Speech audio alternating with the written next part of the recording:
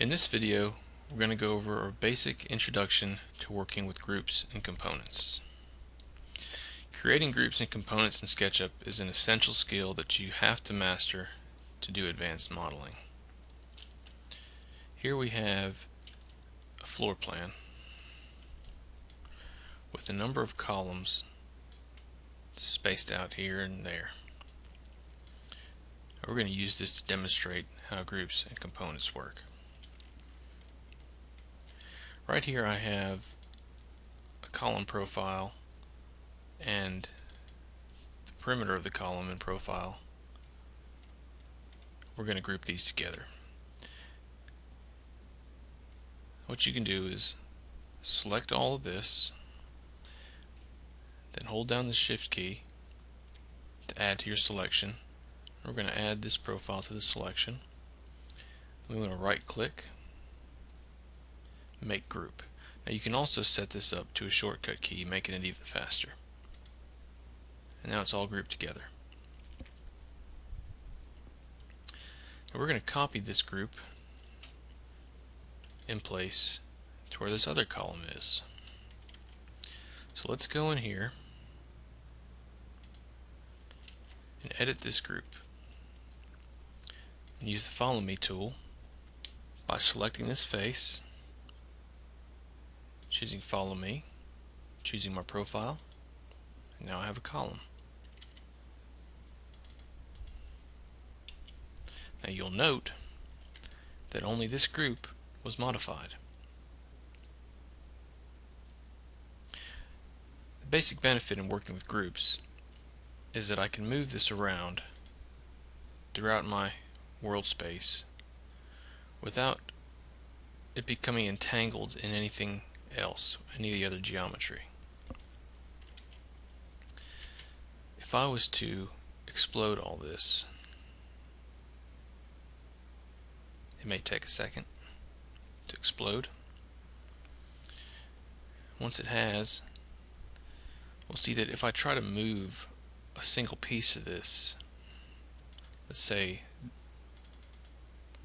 see I can't select the column as easily because now it's touching this geometry. So if I try to move this column, it moves the connected geometry as well. And that's where groups are so beneficial. Because I can move this and copy and rotate it and I don't affect the surrounding geometry. So let's back up a few steps. And this time, we're going to make this a component instead of a group.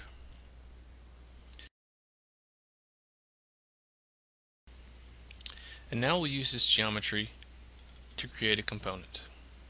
We'll select all the faces that we want to use, right click, click Make Component.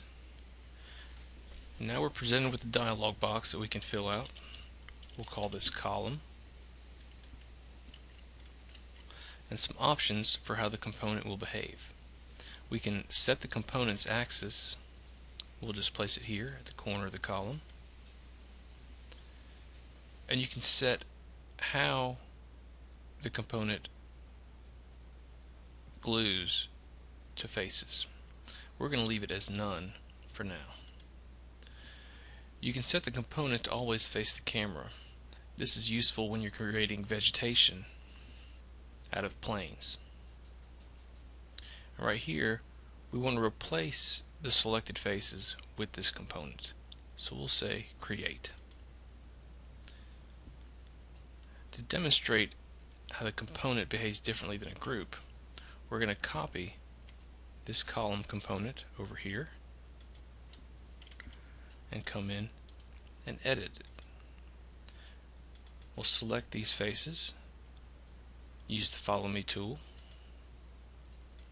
and you'll notice that both columns were edited at the same time.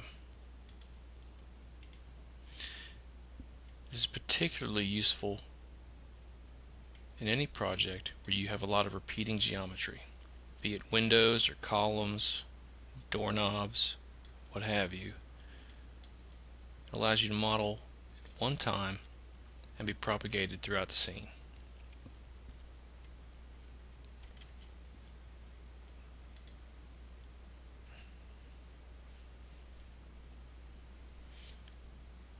Now if you want to do something different with one of these columns you can right click and say make unique then come in and when you edit this column the changes won't be transferred to the other components.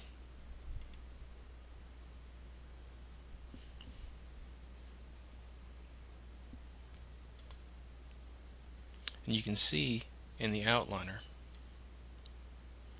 these columns are now named with different names to show how different they are.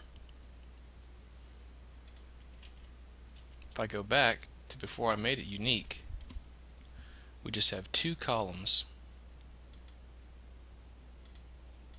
that share the same component data. And now you can copy these columns wherever you need them. And a change made on one will be reflected in all of them.